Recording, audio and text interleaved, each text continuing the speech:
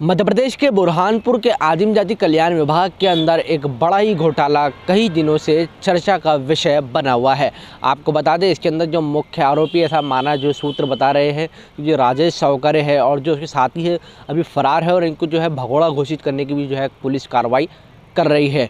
जी हाँ आपको बता दें, जो राजेश सावकरे है, उसकी नेता नगरी भी बड़ी अच्छी जैसा सूत्र बताते हैं और कई होटलों के अंदर जो मीडिया रिपोर्ट बता रही है कि कई होटलों के अंदर वो पार्टी शार्टी भी करता था और इस तरीके से जो उसकी गतिविधियों को अंजाम देता था बड़ी कार्रवाई जो है इस बार फिर बुरहानपुर पुलिस करने जा रही है और आपको बता दें कि जो इसके अंदर तरह तरह की जो है पुलिस ने कार्रवाई की है कई आरोपियों को गिरफ़्तार भी किया है कई से पूछताछ जारी है लेकिन बता दें कि आदिम जाति कल्याण विभाग के अंदर आ, ये घोटाला सामने आया है। वही बता दें कि सूत्र बता रहे हैं कि बुरहानपुर ज़िला अस्पताल से भी बड़ा घोटाला ये हो सकता है। क्योंकि बुरहानपुर जिला अस्पताल के जो घोटाला था, वो भी एक बड़ा ही घोटाला सामने आया था, जिसके बाद में एक घोटाला पुलिस ने फिर उजागर किया है आदिम जाति कल्याण विभाग का ये घोटाला सामने आया वही सूत्र बता रहे हैं कि इस घोटाले के अंदर हो सकता है कि कुछ नेता, कुछ पत्रकार भी सामने आए हैं। क्या कुछ बुरहानपुर एसपी राहुल कुमार का कहना पड़ा है सुनवाएँगे आपको।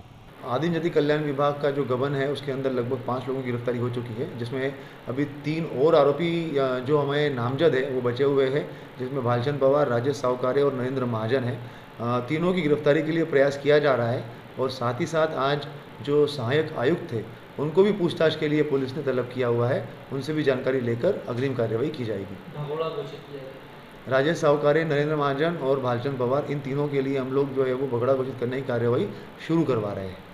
तो सुना आपने क्या कहा है? बुरहानपुर एसपी राहुल कुमार ने किस तरीके से जो है आरोपियों को जो है भगोड़ा घोषित करने की कार्रवाई कर रही है पुलिस और जो है जल्द ही पुलिस जो है इनको गिरफ़्तार कर लेगी। हालाँकि ऐसे पुलिस विभाग के सूत्र बता रहे हैं कि पुलिस ने जो है टीमें रवाना कर दी है इन आरोपियों को गिरफ़्तार करने के लिए।